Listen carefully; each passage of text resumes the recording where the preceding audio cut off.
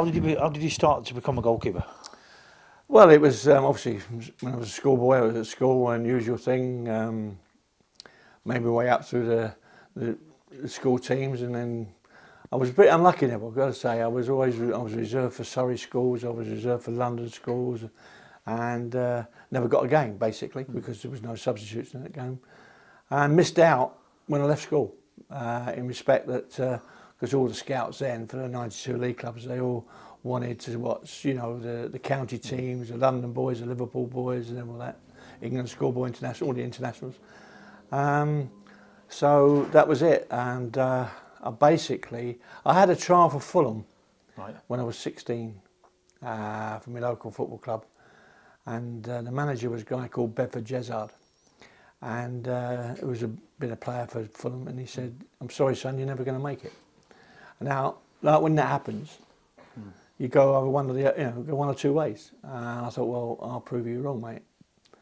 And started playing amateur football uh, for Tooting and Mitcham, right. uh, who then, actually in 1959, I was in the reserve team. Um, they got to the third round of the FA Cup. They nearly beat Notts Forest, who went on to win it. So it was oh. one of those things. And uh, then eventually I got in. Mm. I got in the team, and uh, I was only about uh, a season and a half in the first team. I was on the verge of an amateur cap for England mm. uh, when 1963 was a, a, very bad winter, like one we just had yeah, actually. Yeah. And because there was no undersoil heating in those days, and uh, the whole football scene closed down, professional, amateur, right through, for two months. Right. And a guy called Derek Ufton, who actually played for Charlton, right. wicketkeeper for Kent, um, said to me, um, uh, you know, when the season started again, when, when they started playing again, that there were so many games to play, could um, could I play for Millwall reserves because there, oh, was, yeah. there were lack of players. Mm. And I think I played about eight or nine games for their reserve team. Uh, we finished runners up in the football combination. Mm. And uh, the manager asked me to turn pro when I was just before I was 21. So that's how I became a goal. Right. So it's good to be reserved then, isn't it, sometimes? Well, it is. It is. It's just, I think it proved, um, you know, uh, that you know if someone says something, don't take their word for it. Go out and prove them wrong. Mm. You know, and I suppose they call goalkeepers mad, don't they? I mean, that's yeah. you know, but, but most of most of them we spoke to have all been rejected at some stage. Yeah, yeah. You know, they've all been told that you're not good enough or you're too small. That's right. That's mm. right. Uh, and that basically happened to me. I, I mean, but then again, some young kids, you know, when you're a kid some take uh, probably two or three more years to mm. mature than, than others, yeah. and that's how it happened. So, what was your coaching like at the time? Well, um, when I joined Millwall, um, uh, obviously it was just usual. You know, mm. you train with the first team, and uh, at the end of it, they just the lads just shooting at you and that sort of thing. But um, I mean, in my first year at Millwall, um, we used to train on Blackheath, where they when they start the um, the London Marathon on That's there right, with Mill. Yeah. Uh, and the guy, the manager, was a guy called Billy Gray, uh, who sadly passed away a couple of weeks ago. Mm. Uh, but he was brilliant, and he played for Chelsea, and he played for Notts Forest, funny enough, in the 59 mm. Cup final. He played for Burnley. Um, and because in those days there, there was no goalkeeper coaches, there was nothing no. like that at all, was there? You know, so it was uh, you had to try and work and look and see off other players, bit off television, things like that. But Billy, he got hold of me.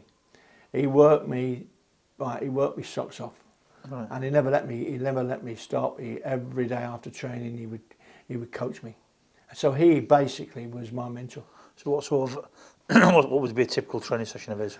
Well, it, it was, it was, it was all up and down fitness, mm. shooting this way and that way, uh, but more on distribution as well. Um, you know, you go back to the old days in uh, the 60s and that, it was, you know, the goalkeeper got the ball and he kicked it downfield, mm. you know. Um, I suppose really uh, the lad, who, the keeper that really sort of done everything, uh, threw the ball out was, was Bert Trautmann. Mm. And uh, that was the kind of thing that he used to get me doing. Don't give the ball away, you know. Make mm. sure that when you got the ball, if you if if you couldn't throw it, make sure you try and it's hit one of the forwards, you know, at chest height or something, so mm. he can hold it up. So your distribution was the most important thing for him. So obviously you, you'd have been probably slightly different from what the other teams then, wouldn't you? So you'd obviously try and play out from the back, Well, that's right. I, that's what that's what I, that's what I did. You know, in, Mm. in the third and fourth division. You know, and uh, which is hard going in it was hard going. It was hard Mm. going because you, you were playing with or you were playing against old pros. You know, Mm. lads that have been who've never really made it to the top, and it was hard, so much harder down there in those days. Um, and looking after yourself, you know, you had to look after yourself Mm. yeah. because you would finish up in the back of net and probably finish out the game. Do you, do you think obviously going to Tooting and Mitcham, I mean, it's obviously an aggressive league in them days, Yes, it was. would, would, would help you at Millwall?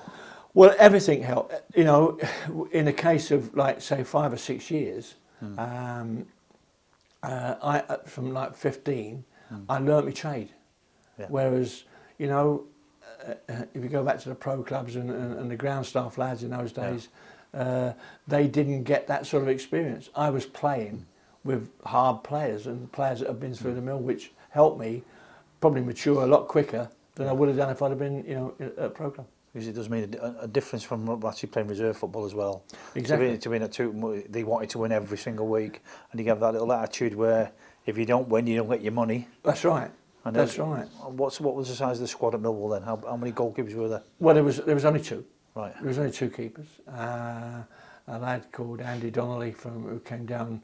I think he came from Clyde when I when I signed. Uh, a guy, the guy, the, the keeper I took over was a guy called Reg Davis who, who went to um, he went to Reading. But uh, that was it. It was two keepers, a first team and a reserve keeper. You know, and normally the reserve keeper was was a young kid actually. You know, he was probably 18, something 19, learning, trying to learn his trade. So I know it's going to be a bit intrusive this question, but what sort of money would you be earning in them days? When I signed for Millwall uh, in '63, I was on fourteen pound a week Oh, yeah. in the playing season, Hmm. uh, twelve pound a week in the non-playing season, Right. four pound for a win, two pound for a draw. So did you work off season? Uh, no, no, I didn't No. work off season. Uh, It was just one of those things that you, you you could get away with that sort of thing, you know, on that money because it wasn't a bad wage in those No. in those no, days. Um, the only the only thing I, I can remember about my contract was uh, when at Millwall was uh, you got a pound uh, as a bonus, a pound a thousand over twenty five thousand, Right. and there must have been about ten games in that season where it was a full house of thirty five thousand, mm. but there was only twenty four thousand nine hundred ninety nine. On the gate, yeah. Yeah, I've seen them do that. Yeah. Do you know what, I'm sure I had one of them contracts once. That's right. Yeah. So if on the gate in it, yeah. That's right. Yeah. It's called the nodding uh, gate. Well, it was, it, was, it was it was the chairman and secretary Yeah. gate. Yeah. There's a few of them, isn't there? yeah, exactly. So obviously you didn't have an agent. No, no agent. So who advised you then? Uh, well, I had to do it myself, you know. I mean, um, the, the thing was uh, when I when I was when I was working. Actually, I was on good money because I, I was working at, at Phillips at Croydon when I was amateur. Right. I was working at Phillips at Croydon, and um, I probably waged about six or seven pound a week at the time. Uh, and playing for, for, for Tooting as an amateur, you used to get travel expenses, you used to get a fiver. And then playing, because there's so many games, I was picking up a fiver from Millwall as well. So I was not on bad wage, you know. like, But, um, uh, you know, like uh, when, I- when I, when I got, got in the team, uh, it, was, it was basically, um, I don't know, the amount of money that was in it. That, that was it, really. Um, no agents. Um, when I signed for the club, um, because it was illegal in those days, for you, for the for the club to pay play pay the player. Right. Okay. It was never. It was it was a football one of the, probably Mr. Hardaker's hard line Right. rules. Um, uh, but it went on. Yeah. Simple, you know, it went on. And I'll never forget when I signed for Millwall, uh, the manager was a guy called uh, Ron Gray, not Billy Gray. Billy Gray, he unfortunately lasted a few months, but he said to me, Alex, he said, um, you know, we want to sign you. Um, and I said, yeah, fine, because, you know, I mean, you know, Yeah. this is my chance. This is my chance. You always dream of being a professional footballer, you know. And uh, I took it. I said, right, no problem. And he gave me an envelope. And he said to me, uh, don't open that envelope till you get home because you never know who's watching round the corner at Millwall. So I, I sort of went home and because I lived in South London, and because I opened this letter, this envelope, and in it was 50 one pound notes, right? And also a three and six FA Cup final ticket. Yeah. And uh, the FA Cup final 1963 was Manchester United against Leicester. Mm. And I went to see it, right? Right. And uh, with the 50 pound, I had two weeks in Tossa de Mar. As a single lad. So, as a- as a I- pre-season. That was, that was a pre-season for me. So, so was it, what was the negotiations like? Did he come in and say, right, that's what you're getting, that's it, go away? Or Yeah, that was that was that was basically it. I mean, I mean, you know, do you want to, but it, the thing was, you know, you you, you, you, you had, you had no come, you, you couldn't say anything. That's what No. they said. Right, this is this is it. This is what you're on. Uh, do you accept that? Well, you well, you wanted to play. You Yeah, wanted to be a professional footballer. You know, And what year was that? that was 1963. Right. Yeah, 1963. And uh, ironically, uh, my first season we got relegated to the fourth Right. division. Which, that was the third division, fourth division. And like I said, then Ron Gray came in, and uh, sorry, Billy Gray. Billy Gray came in, and uh, he changed me. He changed. He changed a lot of. He brought players in uh, from Notts Forest, Roy Dwight, and Len Julians, and uh, Hugh Curran, and people like that. Uh, um, who've done well in the game. So uh, it was good, but we won promotion uh, back to the uh, third division. What was your bonus for that? I think it was about uh, fifty pounds, something like that. Yeah, Just Decent money Yeah, in But, days. you know that's how it was. Um, and we got through on the last game of the season, and then when we won promotion in 65, 66, uh, we won five one at Walsall.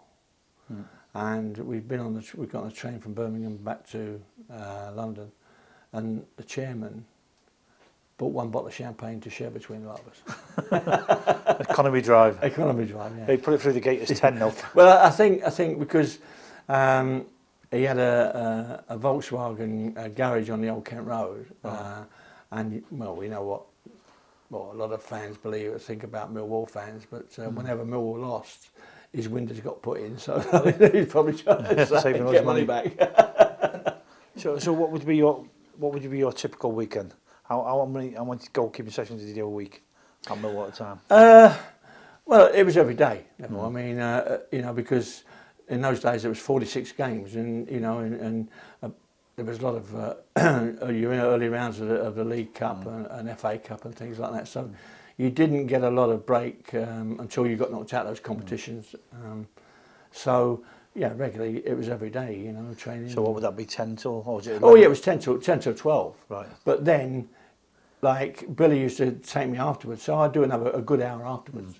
Um, And did the first team training consist of running or ball work? you did exactly, you did exactly what the first team did. You know, Right. that was it. You you done your running, you done uh, and everything, and and then then you'd have obviously you'd have your your uh, first team versus reserve practice matches, five-a-side matches, and and different things. Obviously, they tried to vary it as much as they could. Um, but you know, as well as I do as a keeper, you, you're you're different. You're different. You want to you want to you want to do different things. You want to work. You want to work yourself. Um, I, I don't think a lot of people or supporters realise that um, we were probably a lot fitter, although we're uh, not good runners, some of us, hmm. but a lot fitter physically hmm. by up and down, up and down, you know, all the time, you know. So what would, what would be your pre-match then? Because obviously the nutritionists weren't in there.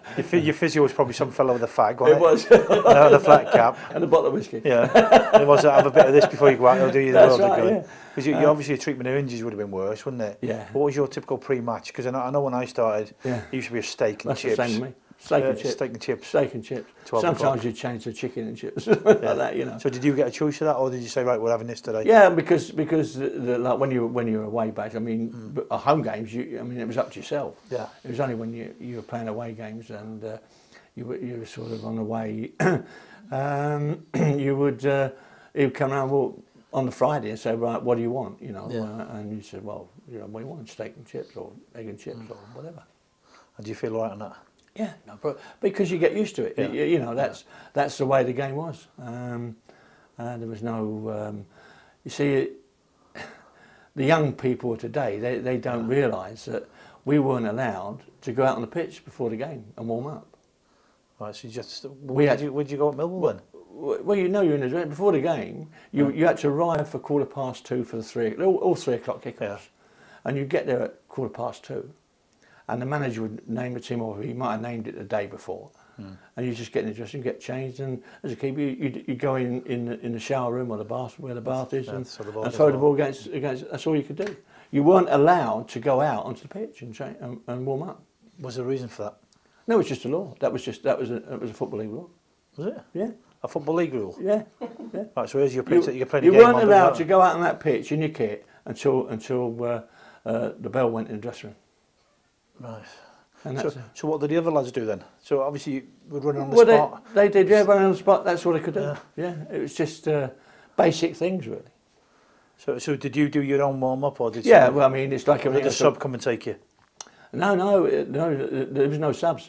there was no subs in those days. Oh, You, there was just the eleven of you, and uh, and like like what you should do. The main thing was, um, I always thought right. I needed a half an hour, uh, uh, like half an hour before the game I started, Hmm. to get changed. I knew that when I started at say for the three o'clock kickoff Yeah. at half past two, by the time I'd got myself set, done my little what this and that, it would be five to three Yeah. so that I'm not thinking about anything. I was Yeah. just, well, directly I, I knew that I was ready. Right, I put the oil on and, and all that, you know.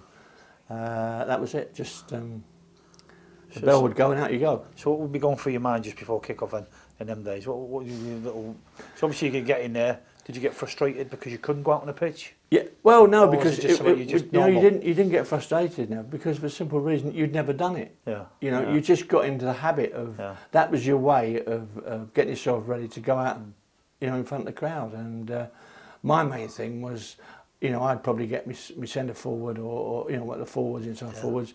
Main thing to get out there and get a few balls sh- shot at because Yeah. you had five minutes. That's all you had before the kick-off. So what, when was the manager's team talk then? Well, that was that was that, that could have been on Friday. Right. It could have been before the game. You know, that was it. Right. He, he could be talking. He could go around talking to you. He'd name the team. The team would go up in the dressing room, and that was it. And he, would he put set pieces, you know, like you see on the tactics board now, would it be all set pieces up? No, you do what he's done in training. Right. You know, you, you, and during the week they would they would have sorted that out. You know, Right. um, and I because I'd be asked. You know, I mean, we didn't have walls like they have walls today. No, you know, no, I mean, it was just it, get on with it really. Um, Because I, I look at that and you, you look at them all before they go on the pitch now and That's go, right, right. you're doing this. And I'm thinking, well, if they trusted you on a Friday, yeah, then surely you should know what you're doing on a Saturday. exactly. Why should you need anything else? Yeah, And but if you didn't have uh, any subs, you'd be back in the same player anyway, wouldn't you? of course you would. Yeah, but All um, the time. we never had that because there was no subs. You see, there was No. it was just one of those things. And if you got injured, you you, you played on. You either played on the left wing and, Yeah, stick it up front. and stick out front. Yeah, Yeah. So, did it. so did you get injured in the game? Yeah, I got injured. My worst injury, um, like like we all we had injuries like uh, like you get your teeth knocked out and things like that, and uh, your, your fingers and whatever. But we went to um, uh, Barrow, Mm. which I mean, can you imagine Millwall to Barrow? I played at Barrow, I know what it's like. Right. Well, we left at ten o'clock Friday morning for the f- three o'clock kick-off on mm. Saturday from St Pancras up mm. to we got to Crewe and uh, we changed trains at Crewe onto Barrow. Arrived there about four o'clock in the afternoon. Book in the hotel, usual thing. Go down, have tea, go to the pictures, come back. That's it. Get up in the morning, go breakfast, little stroll, and then to the ground. But the lads, uh, a couple of lads in the team said to me, now they have a, they have a centre forward who's, uh, well, he's probably the worst, hardest man you're ever going to play against in, in this division. Uh, I think his name was McLean, and uh, I said, right, okay, thanks for letting me know. And within five minutes of the game, I was down. I mean, I went, I had to go for the ball, and it was, and he's done me in my ribs, my kidneys, the whole lot. And at half time, I'm just aching all over. And but you, there's nothing else. You can't No. do it. You've got to go through with it. And because I went for I went for a wee at half time, and it's all blood and everything. And because we didn't have a club doctor, you had to you had to get the you know the the, the home team's doctor, and he came in. and He said, "Well, yeah, it's your kidneys, you know, but uh, you know, uh, play on." You know, and we and he played on, and and because we got through it, and uh, actually who won, but um, and then it's getting back. Yeah. You know, it was on the train back to Crewe, and I'm in agony. And, and and the thing is, we have to change at Crewe and get the sleeper back to London. So we arrive in in St Pancras at eight o'clock Sunday morning, and uh, get yourself home and try and get out. But I played the following week. That's how it Did was. you go to hospital? No, no, no, I don't go to hospital. See, most most people who are reading this will be what, quite young, won't they? So they just assume that the motorways have been there all their lives. That's right. Yeah. And, but Yeah. it was all train, really, wasn't it? Yeah, it was the old all, your, all train yeah. journeys. All train journeys. everything. rubbish physios, Yeah. no nutritionists, Well, all they had was just cold spun. Yeah. Yeah. You know, I mean, which has now been banned. that's right. That's right. I mean, if, if you had, if you had, uh, I mean, ultrasonic wasn't even in there. No. No, the ultrasonic sound thing, but it was just heat pads. You know, if you on your back or something like that. So, so in them days, obviously, you'd be going out the pitches on a on a Friday night. Yeah. You couldn't do that now, could you? No, no. I mean, I don't think the players go out the hotel now. You know, because of uh, the, you know the the way. Well, it's the media. Mm. They're known worldwide and you know countrywide, and there's so many different um, fans around. You know, they want Mm. you know to pester them really. Um, so you know, it doesn't. It, it, it just wouldn't work today for them. No, just, but but obviously the media wasn't there, was it? No, You didn't have Sky, you didn't have anything We else. nothing, so, nothing. So you so you were actually able to go about your, your normal life That's in a normal right. way. That's right. I mean, there was no. I mean, I think the only football magazine was Charlie Buchan's Football, uh, you know, Monthly or something like that. You know, that was what it was. It was just shoot, match- shoot match came day. later. but- Did you match a day on telly? Yeah, there was. Yeah, but that was match the day. That was, but that was only one game. Yeah. And That- was it was it regional on a Sunday? Uh, no, not in No, those days. no, No, no, no. It was, it was ITV or RTA never had that then. It was just um, match of day, but it was never third or fourth division. No. You know, so they didn't know who I was or No. anything like that. Like you said, you know, you could go anywhere you liked. And uh, on a Friday night, did anybody sneak a few beers? Probably. I, I don't. You know, to be honest, I, I wouldn't. I wouldn't have thought so. You know, I- honestly. I Well, you were there. I know, but I mean, you, you know, you, you're your own person. Yeah, You do what you yeah. own. You know, I mean, so no, I don't. I don't think they did. Not in, not in the teams that I played in, to be honest. Because I know a few of the lads that needed a couple of pints before they go to sleep. Well, yeah, some some some did. Uh, you know, I've Yeah. heard about it, but I never, I never, I never sort of, um, sort of anyone I was with or with uh, any other than that. So how did you move to Chelsea come about?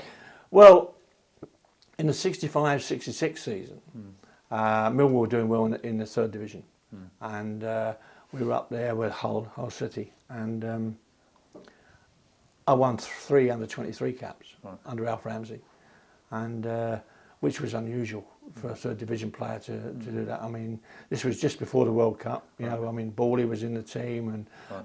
uh, Martin Peters and Venables, they were they were all in you know, and, and Smithy and all that. But um, uh, so, honestly, I, I wanted I wanted to play first division football, you know, and and although we won promotion to the, the second division, uh, I still wanted to play first division football.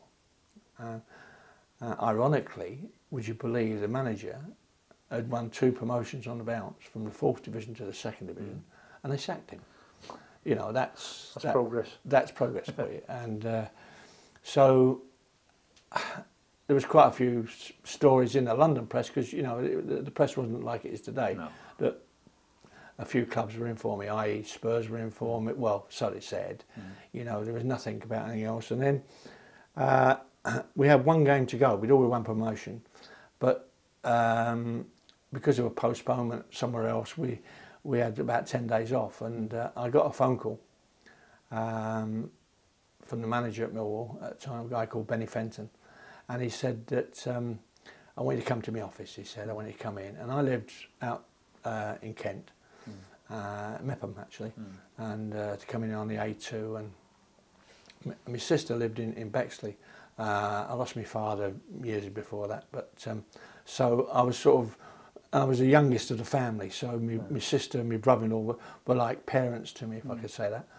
And uh, I got this phone call, and uh, and he said uh, I want you to come in, and I went in not knowing anything, and he said to me, um, "Right, son," he said, uh, "I've got Ron Greenwood in, in my office, and nothing's been agreed. Nothing's been agreed. Uh, West Ham want to sign you, obviously. I just wanted to go in the office and, and have a chat with him."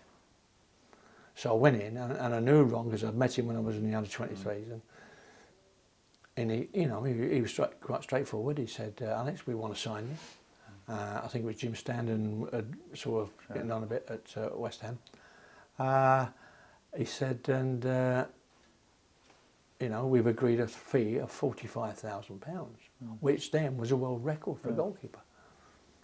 And he said they hadn't agreed, the manager, you know. And I thought, aye, aye. So I was thinking, right, forty. I mean, I never dreamt of Yeah. that sort of money being paid for me. And he said, uh, so I said, well, hold on a minute, I went for nothing.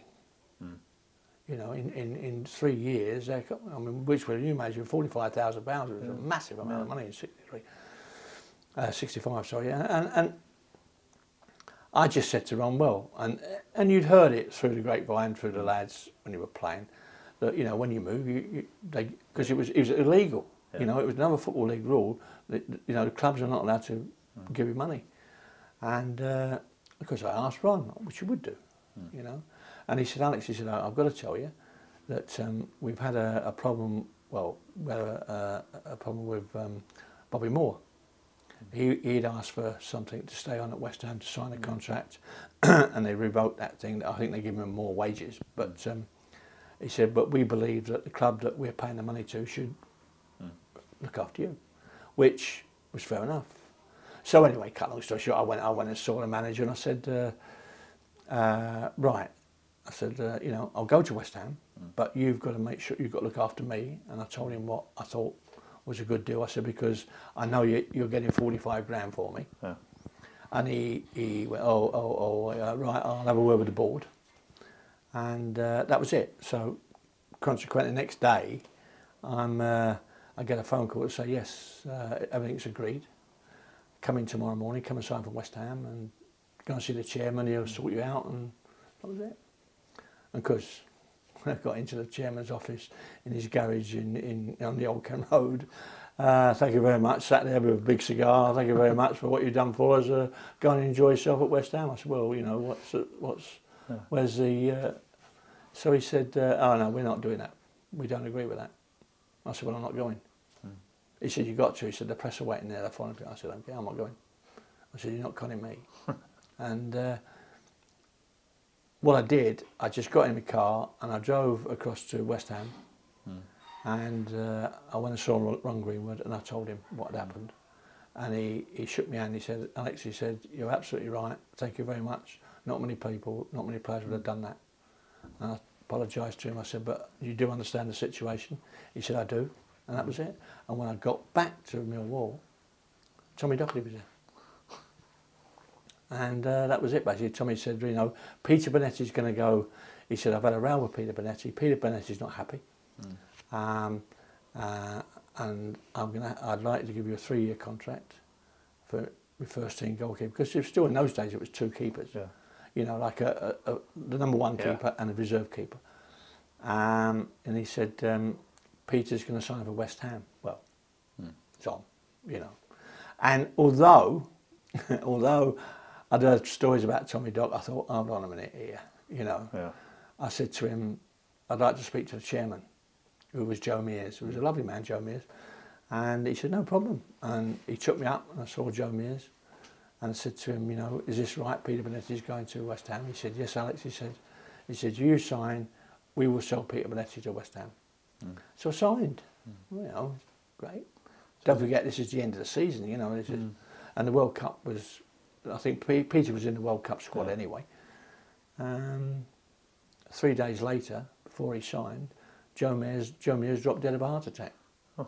And that was, as it turned out for me now, looking back, it was the best thing that ever happened to me. It wasn't much good for him though. No, it wasn't much good for him.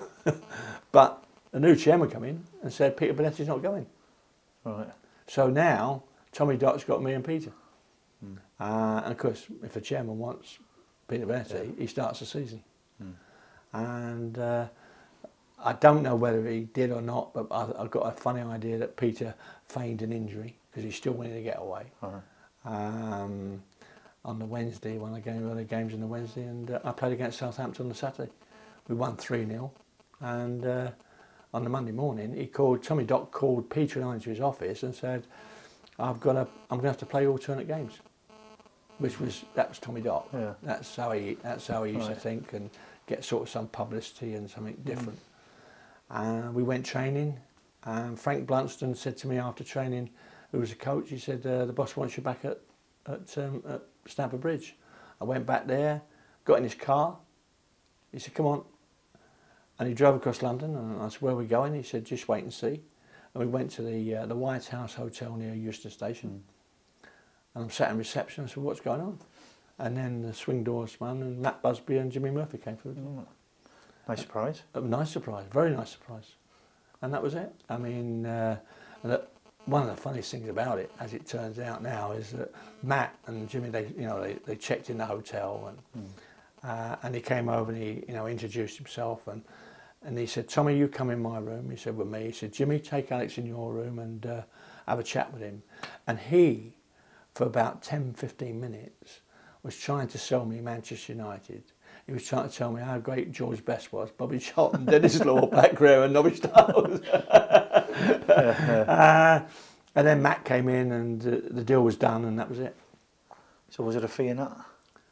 Uh, no, no. One thing uh, Matt said, uh, and I tell you, it's God's honest truth. Matt, Matt said we don't, um, uh, we don't have any of that kind of thing going on at Manchester United, but we pay good wages. And uh, I said right, and he said, uh, and no one else knows what anybody else is on, which is fine. Yeah. And he just said, uh, I'll put you on a hundred pound a week, and twenty pound a week, uh, twenty pound win bonus, So which I thought wasn't bad money at those So what was it? What was the house price at that time then? uh, I was thought around about a, a decent house, probably 4,000. Yeah. So that was good. Yeah, that was good Yeah, money then, was good, wasn't money. Yeah. it? And who was the goal? Who was the other goalkeeper at the time? Well, actually, when I joined, there was Harry Gregg, yeah. there was Pat Dunne, who won a championship medal in, in 65. He only played one season. And uh, David Gaskell. Right, yeah. And Gassy played in the 63 Cup final. and what was Harry Gregg as bonkers as everyone makes out? Yeah, he was. But, I mean, but Harry was coming to the end of his career anyway. And, and uh, it wasn't long after that he moved to Stoke. Right, Um, and, and I think, well, Dave Gaskell went to Wrexham. that's right. Yeah. and Pat Dunne went back to um, Pat Dunne went to back to Ireland, and I think, and uh, I know he might have gone to Plymouth, I'm not quite sure, but then there was two up and young coming goalkeepers, Jimmy Rimmer and John Connaughton came in, and so they were behind me then. So who did your train as a goalkeeper then? Well, Jack Crompton was a trainer, but he was a, he was a, he was the goalkeeper that played in the 48 Cup final. But it was the same thing, you know. It was the same, exactly the same story as before. You trained, you trained, and at the end of the end of the training, you know, they had the shooting. But we had more. But don't forget, you're playing with better players, Neville. Yeah, You know, no matter what team you're in, if you start at the bottom and the way you work, when you work yourself up, hmm. the game becomes quicker, but it becomes easier Yeah, because you're playing with better players. And you know, directly you get the ball, people want it off you. Yeah. They didn't want it off me in the, in the fourth division. You know, you had to make them have it. So, so, so what was your learning process then? As you went through, obviously, some at some part you must have had natural talent. Well, And how, how did you work on the other side of it? well, I, I think I've got to say that was down to the players because I was getting, you know, getting in, uh, improving in my teams. Right, that the players I'm playing with made it easier for me. But I carried on. Obviously, my main thing was well, I always wanted distribution. Uh, I always believe that you know you train to be a shot stopper anyway. But that's that's that's um, that's a natural thing, you know. It's the other part of the goalkeeping, as you know. You know, you've got to organise your defence. You've got to, you, you know, your distribution. You, you and, and So, so, so who taught you them things? I taught myself. Yeah. I had to learn myself. You know, um, I mean, and as you get on in the game and uh, through, you know, year after year after year, you start, to, and and you know you've done it. You know you're there. You try, you you, you, you try and go that bit further. You know, you, you've got the you, you've got the bottle to go on, and Yeah. I mean, I, I before I was finishing, I mean, a few years before I was finishing, I could say to my left winger, you know, uh, if anything uh, is coming down at my, my left, and that ball, that ball started on its way into that 18 yard box, you don't come back, you go. You make your way because I'm going to get that ball and I'm going to give it to you. And that's how, that's what I used to do. So did, did you actually on a Monday morning go in and try and assess what you'd done the Saturday, or did you do it on a Saturday night as you as you're driving home, or did you like one of the things that I'm missing I think from today's game is that you all travel on the bus together, but you all wear headphones. Yeah, so that's did right. you actually sit and have a few beers on the Yeah, bus? we, we, we, we talked about, uh, you know, we talked about the ways, but we've done that mainly we'd done that mainly before the game, to be honest, Neville. I mean, even when we used to train at Cliff, Yeah. even with George and Bobby and Dennis, Yeah. we, we, we trained from 10 to 12. That was always, it was, that was a training, 10 to 12. But we would go back, even George, some afternoons we'd go back on our own. You? And yeah, we, yeah, yeah. Uh, if we didn't have a game or something, we, because the thing was, um, 10 to 12 just went like that. And uh, we were all married and we didn't want to go out with the kids probably. But, Yeah, there is that. but, but uh, you know, but we had to work between ourselves and, and, and practice between ourselves. So how did you know what you were doing was right? Or was it just instinctive? It was instinctive, and I think, you know, directly I, I, I came to United, uh, and you're playing with you're playing with international, Yeah. you know that, and and and and it was it became so much easier, and the feeling through through the management really, I mean, we knew that Matt Busby, uh, he liked to play, he liked to have wingers, he liked to play Mm. for attacking football, and the players that he bought were basically like a jigsaw puzzle. Mm. You know, directly, uh, we need someone in there to do that. We need someone, and those players, so that when whenever I got the ball, there was always people wanting the ball off me. Yeah. You know, um, and when it became hard, when you when it was you know a tough away game or whatever whatever game you're playing, and, and you're under pressure, you had to. We'd spoke about it before. You work together, and that's what it's all about. So what were the balls like compared to now? Well, nothing like that compared to now. Uh, they were a bit heavier when I first started. I mean, the old leather ball and all that, and it got because we didn't wear gloves. I mean, we No. never wore uh, the gloves that they got today. It was just uh, a bit of spit on your hand, get some dirt on your hands, and uh, and have it that way. You know. So when did you start wearing the gloves then? uh, well, you wore you, you what we had was was um, a string glove. Yeah, I remember them. Yeah, they're very thick string gloves. That, I mean, they got wet, they just they stretched. You know, I mean, they, they were a waste of time to be honest. But I suppose mentally that you, you felt that you you know it was the right thing. I mean, So, so who actually, actually said, I tell you what, this would be a good idea, put these gloves on. sorry. Who actually said to you, put these gloves on because they'll make a difference? Uh, no, it was it was just part and parcel. It, it, there, were, there was no one selling gloves. The, the first glove to come out, which was sold, was um, uh, Ron Springett. Was it? Yeah. Ron Springett brought a glove out, which was a string glove. Right. And on the fingertips, it had uh, table tennis. Oh, I remember, yeah. You remember? Yeah. And uh, but like when when they got wet, they, they, they just stretched. But I, I came up with a, a solution with the look, you know, with laundry ladies in those days, Yeah. you know, in, in, in the club. Yeah. And I said, look, I said, uh, will you try bleaching them? You know, when you wash them, bleach them for me. And they really shrunk. Right. and they used to get, I mean, they were bloody white as snow, you know, because Yeah. they'd been bleached. But actually, the, um, the the pimples on the on the on the, on the wash thing got tacky. Yeah. So that was something that I, but I very rarely, only, only when the ball was wet. I mean, it was always. But it was, but because there was no coating on the ball, it was quite abrasive, wasn't it? That's right, yeah, So, so the, the table tennis back gloves Yeah. actually worked, didn't they? yeah, it did, yeah. So the first form of really. That's right, yeah. And once they changed the coating, obviously. That's it. That, that's what it, did. it didn't help at all when No. when uh, it became that sort of plasticky covering. Didn't it?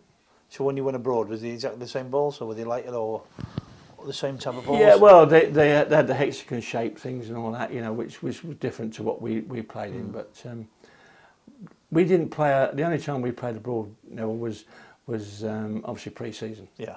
And end of season tours didn't mean a lot anyway, No. they were only sort of um, promotional things. Um, and, well, you know, you talk about the European Cup. Yeah. Uh, I mean, to win, the, to win the European Cup, you only played nine games. But so, so if you know you were going to out to play, say, say that when you played Benfica, Yes.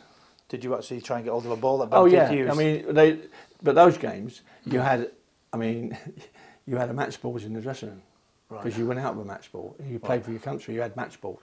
But go I'm. I'm saying, um, you know, the, the week leading up, would you actually gear say, right, we've got Benfica, Oh, no, no, the, the, the, the, the club wouldn't give you, uh, they wouldn't make you train with it. You play. You, bloody uh, trainer wasn't allowed to. He only, he's only allowed so, so many balls a season. bloody hell.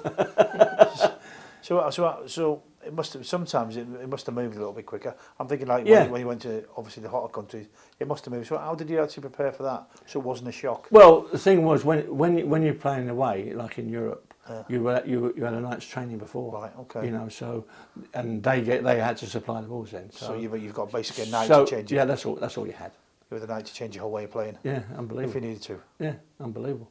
And like, uh, I mean, we played Gornik uh, in the quarterfinals in Poland, and uh, we'd won 2 0 uh, at Old Trafford in the first leg. Yeah. And we got there with six inches of snow on the pitch. Six inches of snow, it was 16 below, and there was 105,000, and it was just a bowl. There was no roofs, or it was just a bowl, and there was 105,000 of these Polish guys with the bloody what's names, hats on and all that. And they actually had sort of flattened the snow, and we had to play on that.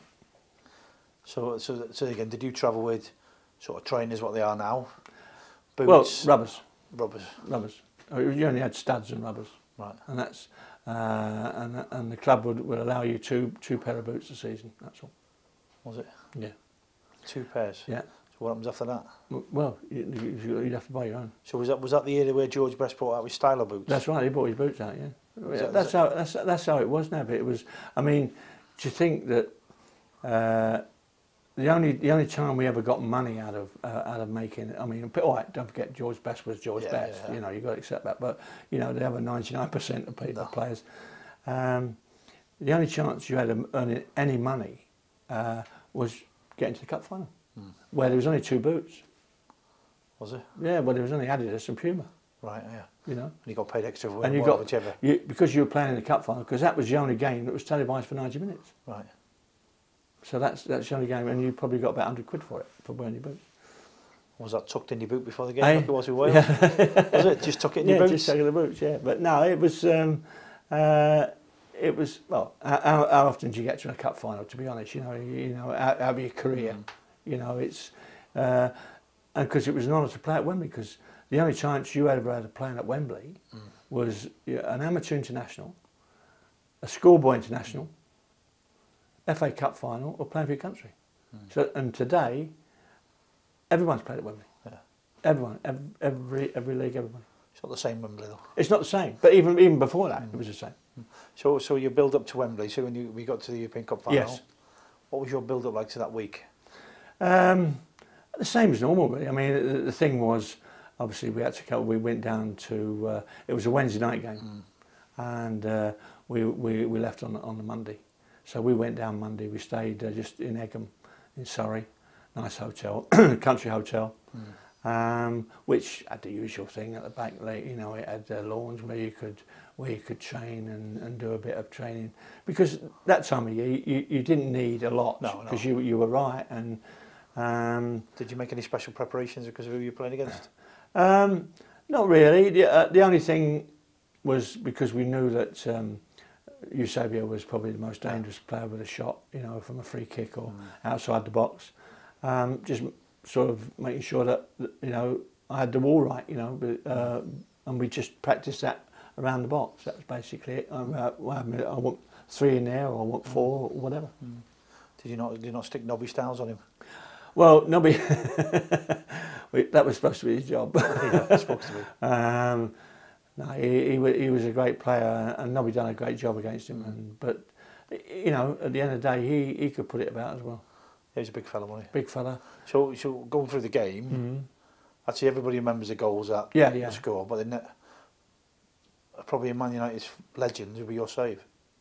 Be Well, yeah, that. it's it's like everything else now. You know, you, you know, because if, if I'd have made that save in the first minute, no one would have remembered it, because it was one-one and it was four minutes to go. I still remember it because I remember watching the game. Yeah, yeah, right. Because it, and it's, it's like Gordon Banks' save, you know, Yeah. against Pelé. You know, your saves. It's, it's one of those things that happens. Um, in the first half, actually, he, he had a free kick and it smacked the ball, smacked the bar from outside the box. I mean, I, I had no chance. I mean, I was going to be warned. it's, it's finished up right in the top angle, hit the bar and bounced out over the halfway, over the 18, outside the 18 yard box. I mean, that's how uh, uh, hard he used to hit the ball. And don't forget, it was not like the balls you have to See, I, remember looking at your face going, I knew that hurt. Yeah. Because your face, Yeah.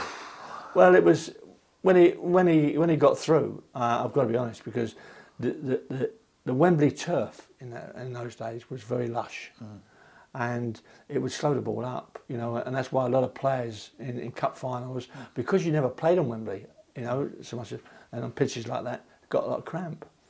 And when that ball was played through, I think it was the first time that Nobby had let him go. You know, 86 minutes into the game, and Uh, I thought, honestly thought, it's like a, a 50-50 ball for me. Mm. So I've come off my line because I, I can see the ball just coming into the box, and I've got to I've got to be on him. And as I've come off, the ball slowed up, and it's slowing up, and uh, bloody hell, he's going to chip me Yeah. because I'm off my line. Hmm. And I just stood back, and I don't know why. Flash of went through my mind. He's going to break the back of the net because he always wanted to break Hmm. That's, the back of the net. that's, that's your that's your instinct honed over all them years, isn't That's right. Hmm. He's going, which if you're going back, you've got no chance. No. But I went forward, Hmm. and obviously, you, the thing is, you don't take you off that ball. No. There is around you that you follow that ball, and luckily it came straight at me. But I mean, he really hit it. But he stuck. It stuck. It's one of those that sticks. Hmm. And it bloody well knocked me over, to be honest. I did see your face. I do remember your face going. it knocked yeah. me over. And I knew, because there was no clocks in those days, you know, there was no clocks around. Mm. You, you got the gist from the, from the lads on the bench how long Yeah. was to go. Yeah. And I knew they'd scored, I think, 10 minutes to go, so I knew it was mm. coming to the end. Yeah. And I'm thinking, I've got it, right, I'm going to start a, a counter-attack. And my first instinct was, I saw Tony Dunne on his own and I threw it to him, my fullback, to start an attack. But it's very unusual in the game that the fellow who you made a save from stands in claps you. Well, that was it. Uh, but I didn't know that, and basically until I, I've, I'd thrown it, and I, I was standing there and I'd thrown it, and he was doing that, and uh, that was it. And I thought, well, fair enough. Because you look, looked on television, I thought, oh, he's just blanked him. Yeah, He's yeah. clapping it, he's got shot Yeah. off and just threw the ball out. that first thing was in mind. Yeah. Start another attack. That's that's well, that's you in a zone, aren't you? yeah. You know, d- Does everybody remember that save? I think Is- everybody is, does. is that the one that you're, if you go anywhere with Man United, because Yeah. you're all over the world still, don't you? Yeah, yeah, that, that's everywhere. They, they just they just remember it, and because this week, uh, uh, because we're playing at Wembley in, in the European Cup final again, you know, it's happening all the time. My dad actually wrote a poem after that game. Did he? Yeah, don't ask me why, but he wrote a poem about because he's Man United mad. Right. And he got up in the morning and said, oh, look at this, I wrote a poem. Yeah, and? You know, he's just come out of the army. No, you know what I mean? he's- He's, or He-Man, he's wrote a poem. Oh, shut up, Man United, get out of it. But it's it's But, it- but, but that's what I'm saying. Yeah. That's what an effect it had on him. yeah Like he's Yeah. been through the war, and been, he's been shot. yeah I'm going, what are you doing doing poetry? And he's going, oh, Man United, look at this. Shut up. yeah. You know I mean? Uh, So we, that, people forget that that's how much impact you can have on, on people. Yes. Like, you're just an average fellow in the street yeah who, lo- who loves Man United for some reason. yeah. I think I think like the longer you live and, and after you finish playing, uh, I mean, I keep saying to myself every time you meet people like you do, Yeah. you know, uh, I was there. Bloody hell, there must have been two hundred and fifty thousand. Especially, especially when they're 15. I wasn't there. My lad was there as well, he's 15. yeah, of course. So, so, so once you won that, you got in the dressing room. Mm. What was it like after the game? Well, I think the main thing now was directly that uh, because this was 10 years after Munich, Mm. and we had Bobby and we had Bill Foulkes, and because Matt Busby was a, was a Yeah. manager. Uh, and I'd only been there two years. And I'm a Londoner coming up, Yeah. and, and, and the, hey, the lads were great. They, they, they welcomed you, and, and, and you, you know, you fitted in. What I found, well, I say strange, no, but I could understand it, was no one ever mentioned Munich. No one ever mentioned it. It never came, you know, like you know, like you are in the dressing room after Yeah. training, and you, you, you know, it could have been David Sadler I was talking to, but we never spoke about it. And there was a feeling that you, it was taboo. Mm. You know, no one said anything, but it's, but when that final whistle goes uh, of cup final, what do you do? You, you go to your nearest player. Yeah. We didn't, and it wasn't rehearsed. We all went to them. Mm. We all went to them because we knew how much it meant, and Mm. and actually that was it. That was a load off of everybody's shoulders. Mm. I mean, to Matt, and and we also knew that you know the That was sort of like the curse being over, wasn't it? that's right. The the family. We knew the families of, of the lads that passed away were in the stand, and and it, it it it seemed as though everybody it was for them, Mm. And that was it. Uh, and as it turned out, it was. Mm. You know. Because he, he built some team afterwards, didn't he? Because he begged, steal and borrowed all his players, Matt, didn't he? Well, that's right. He did. Uh, It, it was incredible, incredible. You know, to get and they'd been to semi-finals as well before that. You know, Because he loaned all the players. He just wanted to go them from everywhere. Didn't well, he? that's right. Well, Jimmy Murphy, because Matt was in hospital. Jimmy, Yeah. Jimmy got um, well, they got amateur players coming in and everything. Mm. But um, It's incredible when you think out where they were. that's right. You know, what, 58, wasn't it? 58 Yeah, when I was born. Yeah, yeah. What, to 10 years later. 10 years. the- the- Because that team, no, no, I mean, no disrespect to the team I played in or, or myself, but that team, I'm positive would have won the European Cup two or three times because they were a great team. So you, you you would have seen Duncan Edwards play, wouldn't you? I saw him as a, as a kid Mm. play at Chelsea. When was. He was top class, wasn't he? Unbelievable. Uh, I mean, I was I was uh, at this awards dinner last night, and, and we were talking about about things, because United had played Sheffield United the year uh, the night before in the, in the Youth Cup final. Mm. uh, first leg, and Duncan Edwards was playing for Manchester United youth team in the in the in the FA Youth Cup final Mm. at, at just under 18. He was playing for their first team, and he was playing for England. Mm. It was incredible. Do you think he's the best one you've ever seen? Yeah, I mean, I mean, but I only saw him a couple of times, Mm. you know. Um, but everyone says that he was, he was, you know, you you've got to work with players and, and you've Yeah. got to be with them day in and day out. And Mm. and, and my best player was obviously was George because Mm.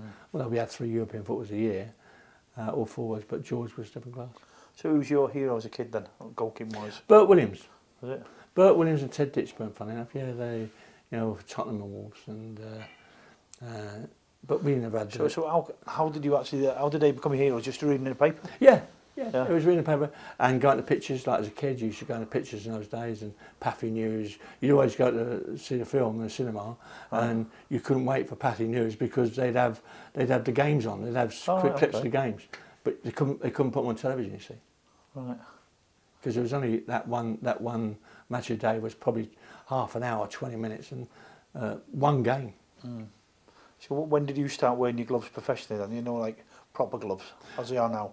Uh, I, I, well, I, I never wore them. We didn't have them. So the balls had just changed later, had they? Yeah, yeah. So what about your boots then? Well, my boots were same. I mean, I always wore Adidas boots. That was as simple as that. I never changed. Uh, No. Because um, they, they, obviously got that marker class on, haven't they? yeah, that was it. And that, that never changed. And uh, when I when I actually, my last two seasons, I played. I went to America. When I left Old Trafford, I went to America Mm. because you're playing on AstroTurf. And then they Yeah. had the pinball things, and uh, and Nike was a big Mm. big uh, footwear company over there. But um, no, I never changed. Uh, it was always boots. I very I very rarely played in rubbers. Mm. No. Very rarely played in rubbers. Always boots, studs. So what, what was it? What was it like playing for the, the biggest team in the world? it was magnificent. It was, but when I went, it was just, it went too quickly. You know, if I can understand it, Mm. we won. I won the league. I won the European Cup. Mm. Great players, everything. Uh, but then when Matt sort of stood down because he had to stand down uh, because of the injuries from from the crash Mm. were, were taking its toll on him. To be honest. Um, and then because the new manager comes in and things started to go Mm. oh we got the semi-finals and things like that but when you don't win something semi if you get knocked out there's nothing you know there's nothing worse than getting beat in the semi-final. Uh, and actually the, the players were getting old George went on the Yeah. on the walkabout because the leash was off from that sort of thing. And uh, um, Bobby was obviously into the 70s end, Bobby was coming into his getting on and Dennis and, and things like that. So uh, and the managerial side didn't wasn't working. I mean I mean, Wilf tried Frank O'Farrell tried then Tommy Doc came we got relegated Mm. I mean I played under five managers at Manchester United I mean But- can you imagine Ryan Giggs he done Yeah. played under one for 20 years But, but obviously, the, is, do you think the expectations are the same now as it was then? I think it's increased now because of what they've actually won? I think I think I think there's a there's a lot. Uh, yeah, I think it's increased now. Yeah, I mean, uh, because of the way the Champions League, it's all about getting in that fourth place. Because in those days, you had to win it to go in, to be in the European Cup. You had to be, uh, uh, you know, you had to be the winners Mm. uh, uh, of the of the of the uh, first division, which actually affected you really because of the, of the problems. yeah. Know, I mean, you never had that chance to go in and play No, so the people who, f- who f- sort of followed you, Jimmy Rimmer was there for a bit, wasn't he? Well, Jimmy was there. Jimmy came Yeah. in because that was that was basically um, uh, he came through because when Wilf took over, Uh, Wilf had been running the, the youth team and, and, and the reserve team, and and Jimmy was his, you know, he was his keeper. And it's like everything else. When a new manager comes in, he, he could have different ideas. He, he wants different players.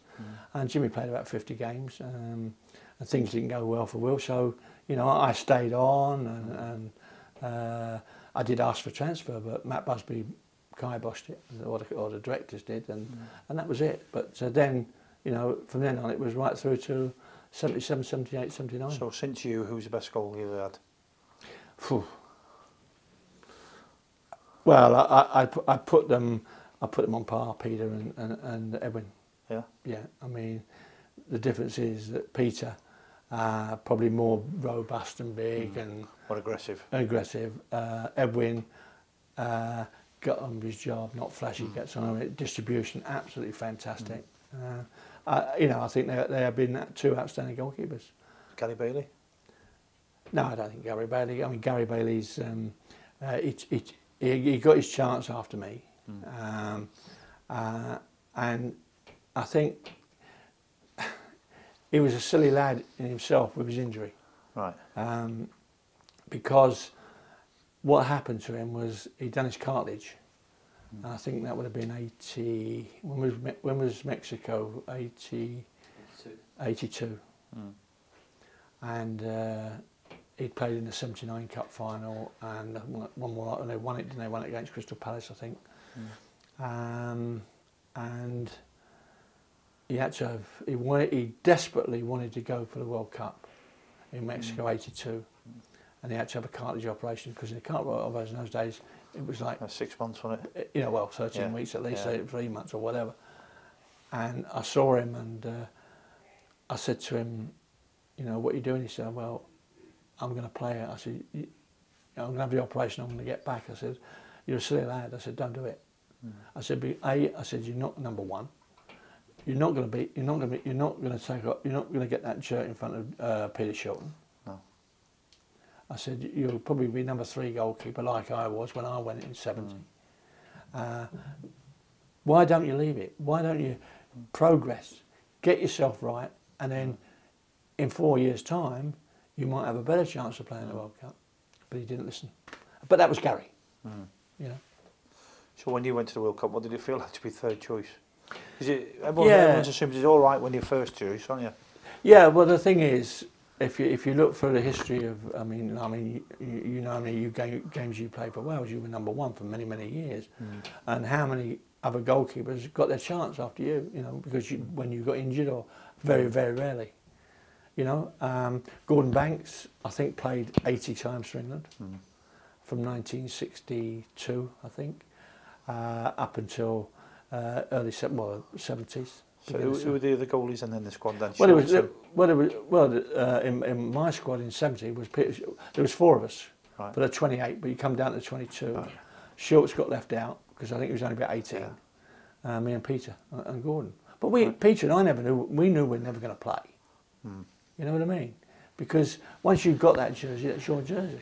You know, very rare goalkeepers got injured. So did you did you when you were trained did you look at them and try and pick things up off them? Of course, yeah.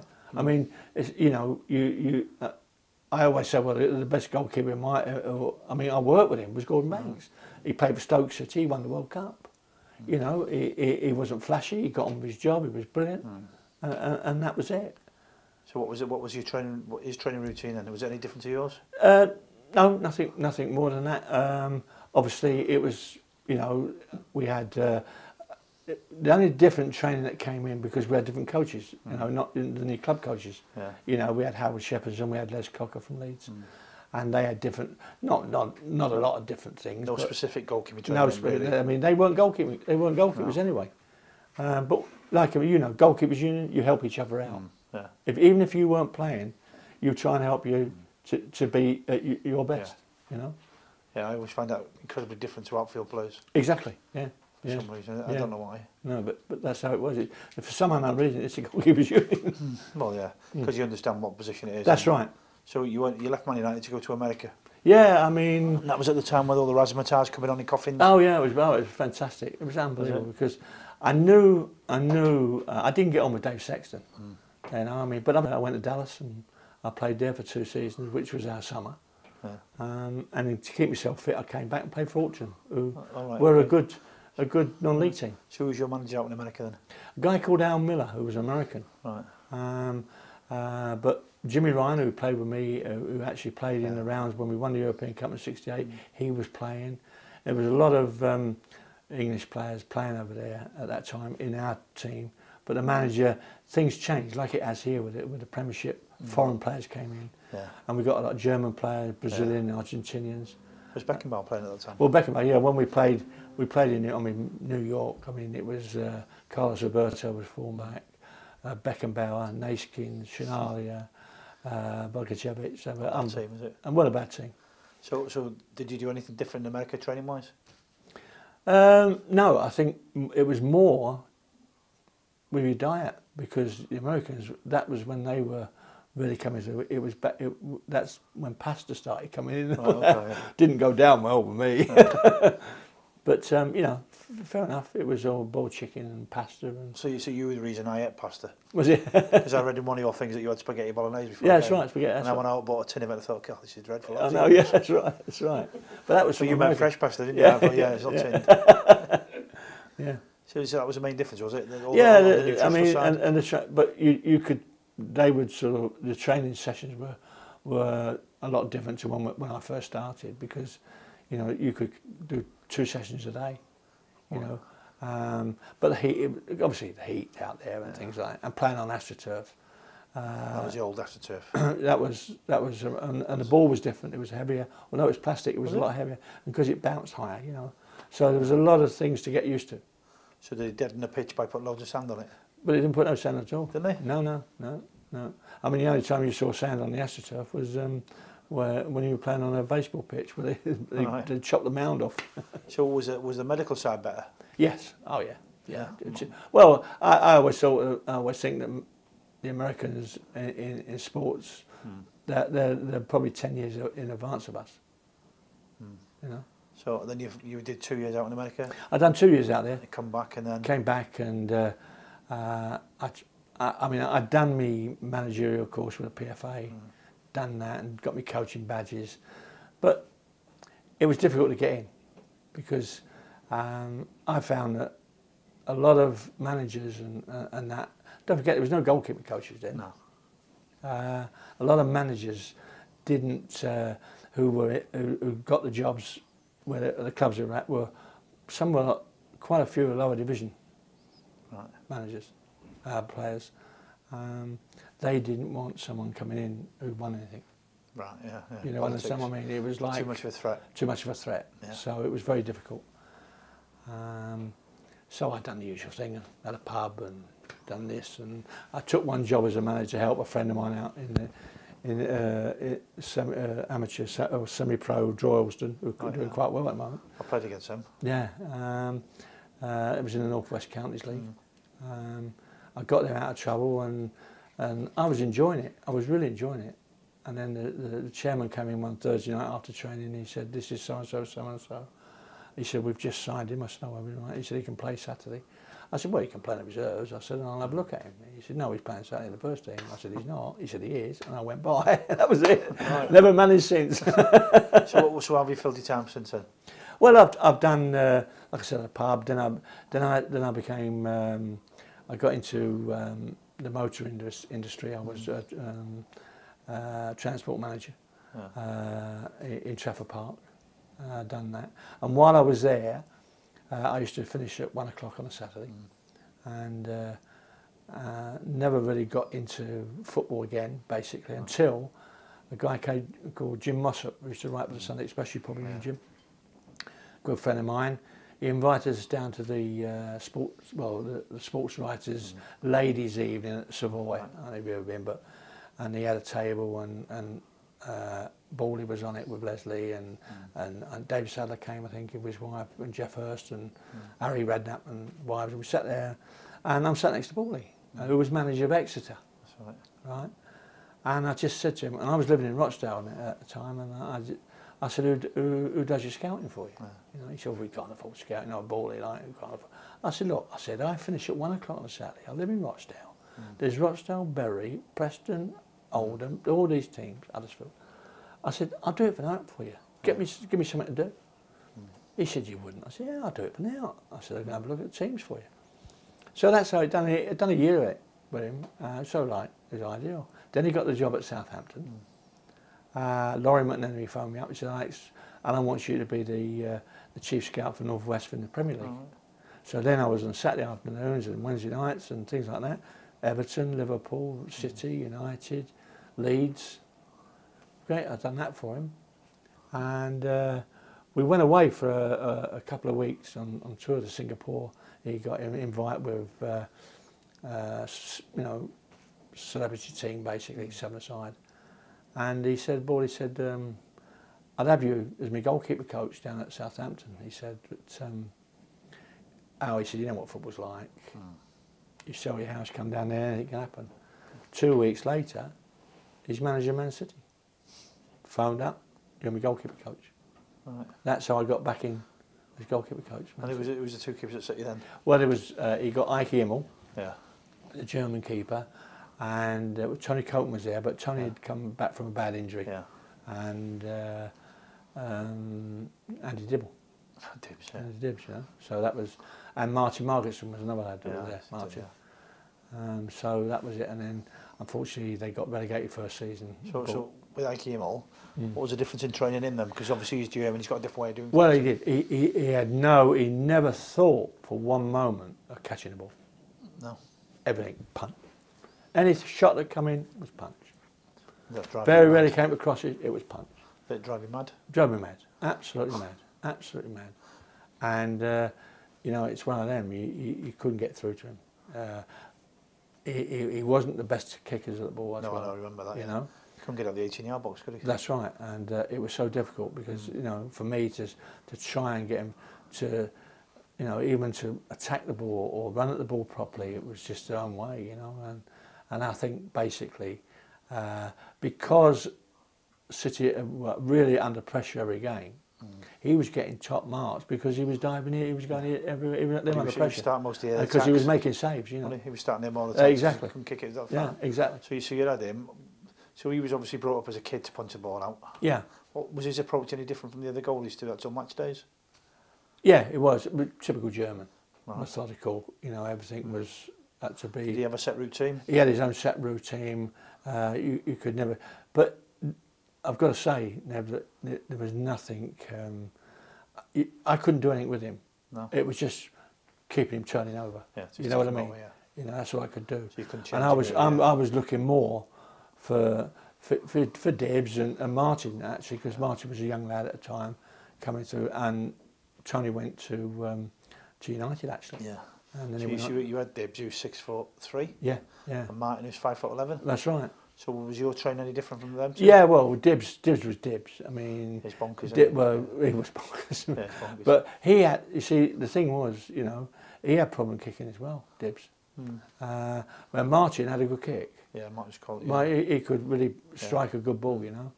Um, it was like getting into his mind about catching and controlling and, and organising. Um, but uh, it didn't really work out, and then because the managers changed, in came uh, Frank Clark, who brought in Tommy Wright. That's right. yeah. Uh, so that was it, and then because Martin's really struggled then, Mm. uh, and Dibs, and they were on their way. Um, So how did you approach coaching? Basically, four different people. Uh, well, it's it's like they're all pros. They, they, they, were, they were good, honest pros. Hmm. Uh, I would say apart from Immel, I've got to say that. Um, but they were willing to learn, Right. and you know you could only. Get, I went to watch every game they Mm. played in, uh, and I would pick out the good. Obviously, the good points. You, you don't knock players. No. You, you know you, you give them the talk about a good point. You've done that great and this and that. Uh, you've got a problem, a little problem there. I think we should work on that. And that's what you do, and, and, and make them stay behind with you and, and do it, because you you're governed by the manager. Yeah, and time. You know, wise, yeah. if, if he wants if he wants goalkeepers in to, to, to, to play in a certain practice match, you've got to let them go. So you, you can't have more time. So I should keep them back later. So did it, did the manager then at the time give them certain responsibilities, certain areas on the pitch where they need to do things? No, I'll be honest with you. I mean, every manager that uh, I had really left it up to me. Oh, they? Yeah, Right, okay. left it up to me. Uh, So did he come and to talk to you organise about them. corners? Want two men on the post, or was that his decision? No, that was my decision. I, I, I, I, would, I would say I always wanted a- player on the post. Yeah. Always. That's how I. Mm. And I always. Uh, I, know the you know the ball's lighter and things like that, but I always I don't know I didn't want them standing side on. You face the ball, Mm. and, and to get and to prove to them that they can do it that way because most of them stand side on. Mm. I don't know if you ever noticed that. No. Right, you know, if the corner's out to the right, Yeah. they're standing like that. They're standing like that. Right. Now you, you can't go there. No. No. You know, they're look they're more in, expecting a shot. Yeah. So they're saying they can't do anything. They about can't this. do about it in there. No. So that's just Whereas cheating, really, isn't it? You've got to go and you really Yeah, go, and you can go back, and you can still go out. Yeah, now time now. Right. You, Yeah. guys, you guys have got a dinner to do. Yeah. Have we? Yeah, Should, should we sort of come up with uh, questions to sort of sum it up and Yeah. say thank you and Mm. give it a nice bookend? Yeah. What sort of question would you like? And the Okay. thing is, I could listen to all this all night. I just know this is going to go whenever the Yeah, yeah. Okay. So dinner. so finally to finish, Alex, Mm. the standard of goalkeeping when you were at Man United Yes. to the standard of goalkeeping in the Premier League now. I think uh, I think what will sum it up though. Uh, when I was at Manchester United, we were all six foot. Now you've got to be six foot four, six foot five, and they haven't changed the size of the goals. Thanks very much, Alex. It's been a pleasure, mate. My pleasure. Thanks.